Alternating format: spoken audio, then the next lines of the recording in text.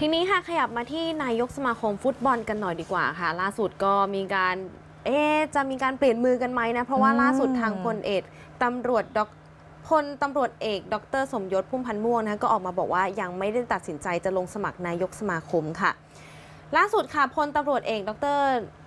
สมยศพุ่มพันธ์ม่วงค่ะ นายกสมาคมก็ออกมาเปิดเผยค่ะว่า ตามกระแสข่าวที่ออกมาเรื่องของการลงสมัครรับเลือกตั้งนายกสมาคม หลังจากหมดวาระเนี่ยขอเรียนอีกครั้งว่าณเวลานี้ยังไม่มีความคิดที่จะลงสมัคร แล้วก็ไม่ใช่เรื่องเร่งด่วนในเวลานี้เช่นกัน อีกทั้งยังมียังไม่ได้มีการเปิดเผย โดยคนใกล้ชิดแต่อย่างใดค่ะ ซึ่งภารกิจด่วนแล้วก็สำคัญในตอนนี้เนี่ยคือการประคับประคอง แล้วก็ทำยังไงให้ฟุตบอลไทยของเราเนี่ยเดินหน้าต่อไปได้ ตอนนี้เนี่ยเราต้องพยายามสนับสนุนสโมสรให้มากที่สุดทำให้วงการฟุตบอลเนี่ยดำเนินงานไปได้ในทุกๆ องค์ประกอบ กับช่วงเวลาที่ยากลำบากที่นี่ให้ได้ อีกภารกิจหนึ่งที่สำคัญเนี่ยคือการติดตามผลการดำเนินงานโครงการต่างๆ ที่ทำร่วมกับ AFC แล้วก็รวมถึงฟีฟ่า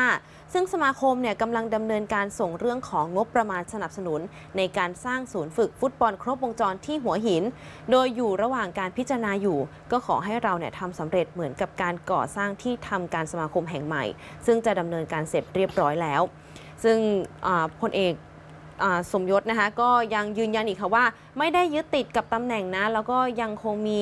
คิดยังคงไม่ได้คิดเรื่องของการลงสมัครรับเลือกตั้งนายกสมาคมกีฬาฟุตบอล โดยขอโฟกัสกับการทำงานเพื่อวางรากฐานให้กับฟุตบอลไทยเนี่ยเข้มแข็งก่อน แล้วก็รวมถึงแก้ปัญหาต่างๆ ในช่วงเวลาที่เหลือ เพื่อวันข้างหน้าเนี่ยคนที่จะเข้ามาทำงานสารงานต่อได้เนี่ยก็จะได้ทำได้ทันที แล้วก็ยืนยันว่ายืนยันว่ายินดีที่จะสนับสนุนผู้ที่มีความรู้ความสามารถ มีความตั้งใจ แล้วก็มีศักยภาพพร้อมที่จะเข้าข้ามาสารงานบริหารฟุตบอลไทยต่อไปค่ะ